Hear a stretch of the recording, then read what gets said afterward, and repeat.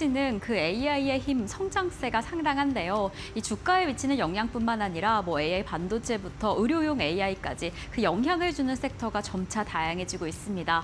이렇게 계속해서 성장하고 있는 AI 시장 사실 가장 우려가 되는 부분은 내 인력을 대체하지 않을까, 일자리를 빼앗기지 않을까 하는 그 부분일 텐데요. 사실 그, 그 부분이 조금 더 가시화되고 있는 상황입니다. 최근에 13일에 발표가 된 과제에 따르면 지금 한국에서 AI가 대체할 수 있는 일자리는 전체 일자리의 13% 수준이다라고 합니다. 그리고 60%의 전문가 직종이 다 대체가 될 수 있다라는 전망을 내놓았는데요. 사실 2022년에 AI 도입률이 4% 수준이었을 때도 그때도 많은 일자리가 대체될 것이다라고 좀 전망을 했는데 최근에 챗 GPT가 등장을 하게 되면서 이 부분이 더 가속화되고 있습니다. 이러한 속도라면 이러한 성장세라면 진짜 AI 시대가 도래할 것이다라는 좀 우려가 지금 가득 좀 끌어올리고 있는 상황입니다. 이러한 상황 가운데서 좀 어찌 보면 가장 두드러진 움직임을 보이고 있는 게 애플입니다. 애플이 어떠한 흐름일지 체크를 해보겠습니다. 애플은 최근에 뭐 워낙 강력한 이슈가 있는데 이 CEO는 애플의 조립, 이 아이폰의 조립 라인에 50%를 대체할 것이다 라는 의지를 내놓았습니다. 아무래도 2022년부터 노동자 수당 문제 시위가 있었기 때문에 이러한 문제가 있을 때 조립 과정에서 좀 생산이 멈추는 문제가 있었기 때문에 앞으로는 이런 노동자를 대체하겠다라는 의지를 2022년부터 강력 하게 밝혔습니다. 최근에도 다시 한번 좀 그 의지를 다진 상황인데 이에 따라서 애플 협력업체 이미 좀 많은 직원이 대체되었다라고 합니다. 2022년에 애플 협력업체 모니터링을 하는 직원 수가 160만 명이었는데 지난해에는 20만 명이 사라진 상황입니다. 이 직원이 이미 AI로 대체가 되고 있는 상황인데 최근에는 또 더 강력한 의지를 보인 게 바로 드리시티와 다인 AI를 인수하게 되면서 이제 정말 제조 과정의 부품 검사와 같은 문제를 AI로 해결 을 하겠다라는 그 의지를 다시 한번 다졌습니다. 이러한 흐름이라면 다른 기업 안에서도 이러한 추세가 이어질 것이고 이 AI가 대체하는 인력 난을 어떻게 해결해야 할까, 어떻게 대비해야 할까가 좀 가장 큰 관심이 아닐까 싶습니다. 이럴 때 또 같이 주목을 받게 되는 게 바로 로봇 관련주입니다. 뭐 아무래도 AI 시장 안에서 AI를 다루는 전문 인력들은 대체될 수 없을 것이다. 수요 측면 안에서도 그리고 비용 측면 안에서도 더 강력한 좀 관심을 받고 있는 상황이긴 하지만 이러한 전반적인 흐름 안에서 좀 이러한 대세를 거스르기 위해서는 로봇 관련주를 조금 더 집중해서 살펴보시면 좋을 것 같습니다. 자, 어떤 종목들이 있을지 체크를 해보면요. 아무래도 국내 시장 안에서도 특히나 제조업 분야 안에서도 로봇이 이 AI로 좀 대체가 될 것이다 라는 이야기가 나오는 만큼 물류 로봇 솔루션을 다루는 기업들 그리고 스마트 팩토리 솔루션이라던가 뭐 자세히 살펴보면 자율주행 로봇 그리고 무인 운반차, 협동 로봇을 다루는 기업들을 지금 집중해 보시면 좋을 것 같습니다. 미래를 향한 큰 대안책은 될 수 없지만 그래도 이러한 흐름에 좀 과제를 해결해 주지 않을까라는 흐름이 확인이 되는데 두산 로보틱스, 현대위아 제닉스, 뉴로메카 같은 기업들 협동 로봇을 많이 다루고 있는 기업들을 먼저 주목해서 살펴보시면 좋을 것 같습니다. 네, 이어서 다음 기업 바로 만나보도록 하겠습니다. 다음 기업은 하이로닉입니다. 오늘 시장에서 급등 흐름이 나타나고 있는데 보니까 14% 이상 상승 흐름이 나왔고 오늘 장중한 때는 11,000원대를 뚫어내기도 했습니다. 어, 하이로닉의 주가 흐름을 김대성 본부장님께서는 어떻게 보십니까? 사실 네. 인기가 많은 기업이긴 해요. 네, 그러니까 음. 인기는 많고 많은 투자자분들이 알고는 있지만 주가가 참 올라가지 못했던 음. 종목군들 중에 하나가 아닌가 싶습니다. 왜냐하면 같은 섹터 안에 클래시스라든지 비올, 원테카 같은 기업들은 역사적인 신고가 구간에서 굉장히 좋은 모습을 좀 보였었는데 하이로닉은 그들이 움직였을 때 움직였었던 적이 없었거든요. 음. 근데 왜 뒤늦게 지금 이렇게 올라가고 있느냐? 그러니까 여러분들이 K뷰티를 한번 생각을 해보시면 될 것 같아요. 작년에 LG생활공과 아우레퍼시픽은 안 올라갔죠. 그 이유는 중국 매출 비중이 많았기 때문에 하이로닉도 마찬가지입니다. 피부미와 의료기기 쪽에서도 사실 북미라든지 유럽에서 성장성을 가지고 있는 기업이 먼저 움직였고 중국 매출 비중이 좀 높은 하이로닉 같은 경우에는 상대적으로 덜 움직였는데 일단 매출에서 이제 변화의 조짐이 지금 보인 거죠. 그러니까 1분기 같은 경우에도 남미 쪽에서의 매출 비중이 굉장하게 이제 늘어났고 그리고 또 이제 다가오는 2분기에 지금도 미국에서 승인을 받게 된다면 중국의 의존도를 내리고 미국이라든지 유럽, 지금 남미 쪽의 매출 비중이 커져 나가는 것을 의미할 수 있기 때문에 아무래도 이제 상대적인 이제 저평가를 받고 있는 하이로닉에 많은 투자자분들이 지금 관심을 가지고 있다라고 좀 보시면 될 것 같고요. 이 실크로라고 하는 제품이 지금 미국 FDA 승인을 받은 것이고 일단 원래는 같은 계열의 제품들이 일단 출시가 되어 되어 출시가 되어 있었어요. 하지만 이제 여기에 이제 추가로 어, 이 실크로에 대한 호응이 굉장히 좋은 상태에서 승인을 받은 상황이기 때문에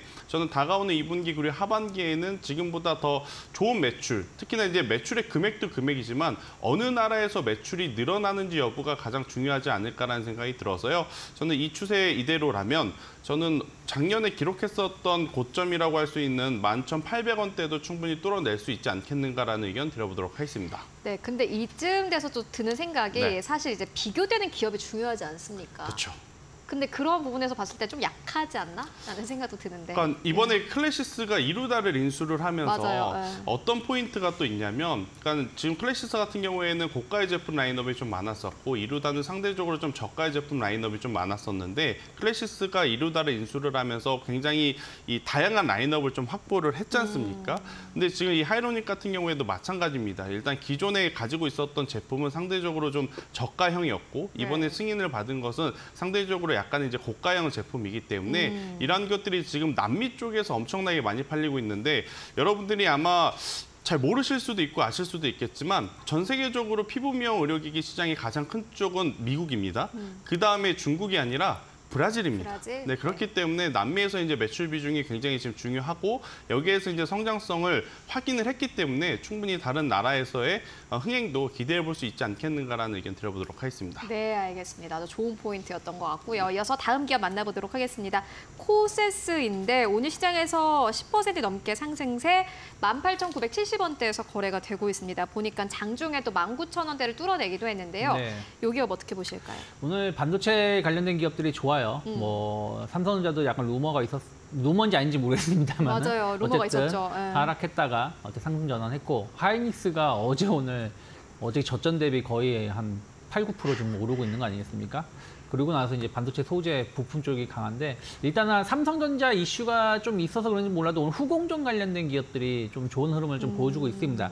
코세스도 반도체하고 디스플레이 장비를 전문적으로 어, 생산하는 업체라고 보시면 되, 되겠고요. 반도체 쪽은 후공정 관련해서 패키지 어, 테스트 관련된 장비를 좀 공급한다라고 보시면 됩니다. 그래서 약간 삼성전자 이슈들 때문에 또 최근에 보면은 삼성전자도 HBM 관련돼서 언젠가는 공급할 거 아닙니까? 뭐 이런 부분들이 이슈가 되면서 코세스는 삼성에도 공급, 하이닉스도 제품을 공급을 하고 삼성에도 공급을 하고 있다 보니까 그러한 것들이 이제 삼성전자 주가가 반등을 주면서 최근 주가 흐름이 나쁘지 않았고요. 또 하나가 이 회사가 이제 그 레이저 커팅 어, 장비 관련해서 응용 장비를 여러 개를 가지고 있는데 상당히 어, 제품이 좋다고 합니다. 특히 이제 모바일용 어, 제품에 어, 사용을 많이 한다고 하는데 모바일 제품은 딱 정형화 있는 게 아니라 제품의 크기도 다르고 하다 보니까 이 커팅 기술이 상당히 중요하다고 하거든요. 근데 이제 HBM 쪽을 가면서 커팅 기술이 상당히 중요하게 여겨지고 있죠. 또 HBM 삼성전자가 현재는 좀 약하지만 차세대 HBM을 넘어가게 된다라면 CXL이 어, 도입될 가능성이 적용될 가능성이 높고 그죠. 그럼 CXL은 또 이 레이저 커팅 기술이 상당히 중요한 어, 그 위치를 차지할 수 있다는 얘기도 있다 보니까 코세스가 좀 주목을 받고 있는 부분들이 좀 있고요. 또 디스플레이 관련해 가지고 뭐 미니 LED 뭐 이런 부분들 관련해서도 마이크로 LED죠. 미니 마이크로 LED 시장이 어, 성장할 수 있다는 어떤 기대감들도 가져가고 있습니다.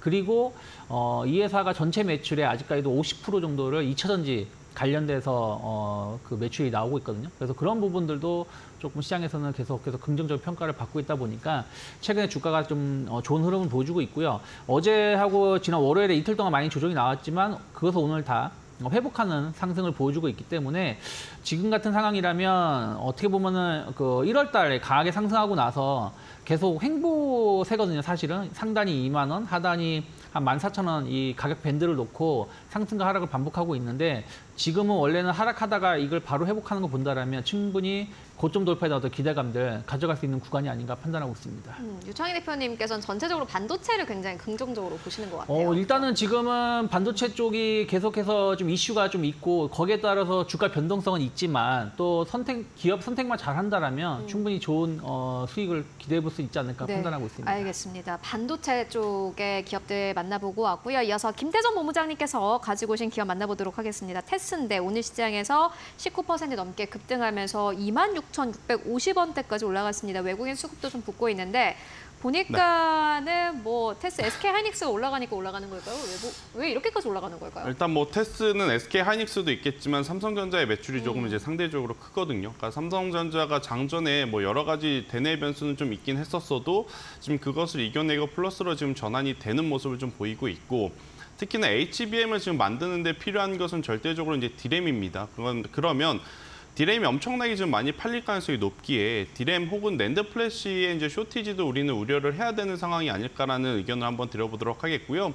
지금 반도체 시선은 삼성전자 퀄테스트에 대한 이야기를 하지만 사실은 삼성전자 HBM 없어도 지금까지 돈 잘 벌어왔던 기업이라서 저는 여기에 그렇게까지 우리가 목을 맬 필요는 있겠는가라는 생각이 들어요. 일단은 HBM이 SK 하이닉스를 필두로 많이 나가면 디램의 재고가 지금 많이 없다는 것을 의미하거든요. 그러면 디램의 재고가 없으면 디램의 가격이 올라갑니다. 그런데 실제로 디램의 가격이 3, 4, 5월 달 지금 계속해서 올라오고 있었던 상황. 그러면 적정 수준의 재고 밑으로 내려온 디램을 이제는 생산을 해야 되고 낸드 플래시도 생산을 해야 되는 상황이라서 전공정 장비라든지 이제 전공정 소재 관련주들이 최근에 상대적으로 더 좋은 모습을 좀 보일 수 있다 생각이 들고 있고요.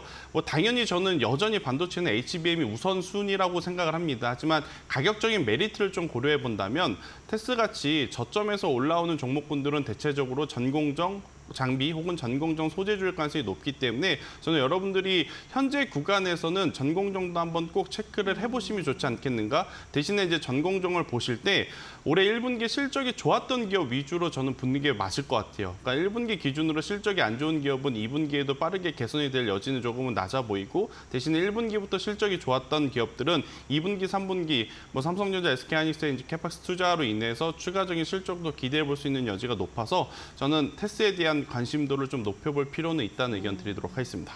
전공정 가운데서도 1분기 실적이 좀 받쳐주는 기업을 보는 게 중요한데 그 가운데 대표적인 종목이 테스다라는 의견으로 정리를 해보고 가도록 하겠습니다. 지금까지 유창희 대표 그리고 김태성 본부장과 함께했습니다. 말씀 고맙습니다.